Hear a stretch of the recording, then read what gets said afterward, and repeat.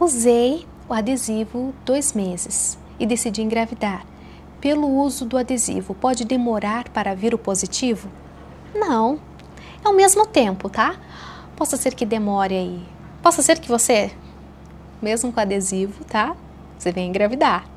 Por quê? Se você não aplicou direitinho o adesivo, se você não se atentou ali ao prazo de validade desse adesivo, tá? Eu já recebi inúmeros relatos de, de, mulheres, tá? Que engravidaram mesmo com adesivo por conta que ela não se atentou à validade do adesivo. Uh, agora, se você está apresentando dificuldades para engravidar, até quando, quanto tempo é considerado normal por conta que você utilizou o anticoncepcional? Três meses seis meses também.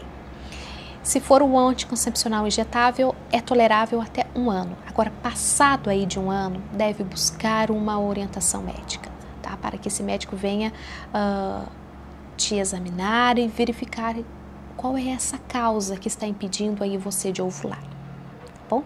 Mas vai dar tudo certo. Um beijo.